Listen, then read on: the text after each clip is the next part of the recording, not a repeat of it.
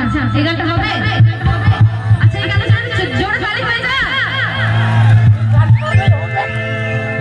করলেই হবে।